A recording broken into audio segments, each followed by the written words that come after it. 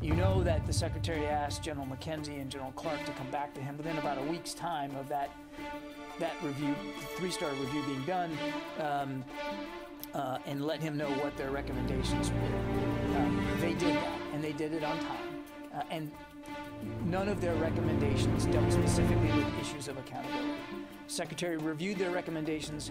Uh, I won't get into all of them. Some of them are understandably classified, but he approved their recommendations. So I do not anticipate there being issues of personal accountability to be had with respect to the August 29th airstrike.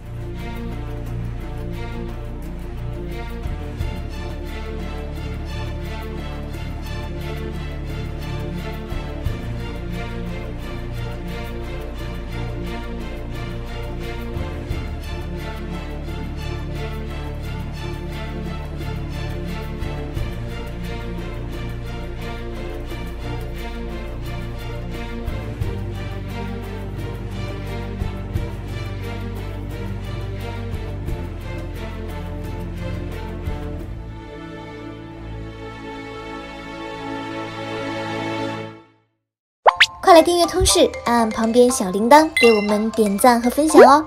如果有什么想说的，也欢迎在下面多多留言呀。